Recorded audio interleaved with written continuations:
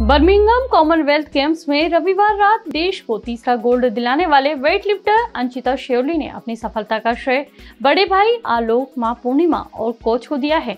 अंचिता के पास एक समय ऐसा था, तब खाना खाने तक के पैसे नहीं थे, जिसके कारण उन्हें दो वक्त के खाने के लिए मजदूरी करनी पड़ती थी। आइए जानते हैं अंचिता शेवली की मोटिवेशन स्टोरी।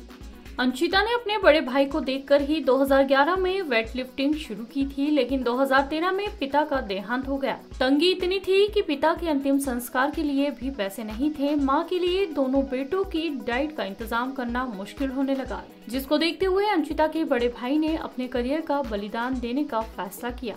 अंशिता के भाई आलोक बताते हैं कि पिता के गुजर जाने के बाद मैंने वेट लिफ्टिंग छोड़ दी थी ताकि अंशिता अपना करियर जारी रख सके। हम अपनी डाइट में एक एक अंडा और एक किलो मीट ले सके, इसके लिए खेतों में मजदूरी करते थे।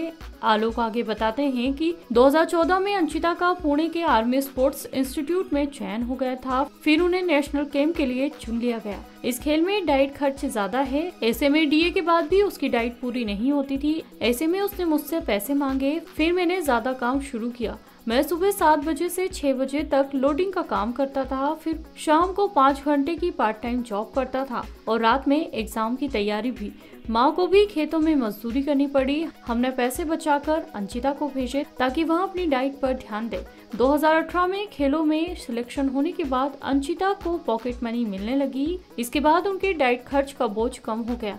अब वे केंद्र सरकार के टॉप्स योजना में भी शामिल है। आलोक ने कहा कि अंशिता ने बंगाल से नेशनल स्तर पर और देश के लिए इंटरनेशनल स्तर पर कई टूर्नामेंट मेडल भी जीते। देश के कई राज्यों में नेशनल और इंटरनेशनल स्तर पर मेडल जीतने के बाद खिलाड़ियों को राज्य सरकार से मदद मिलती है, लेकिन अंशिता को बंगाल सरकार से आज तक कोई मदद नहीं मिली। Bureau report Madhubhashi news. Video को लाइक और शेयर करें। मृदुभाषी से जुड़ने के लिए चैनल को सब्सक्राइब करें। खबरों की नोटिफिकेशन के लिए बेलाइकन दबाना ना भूलें।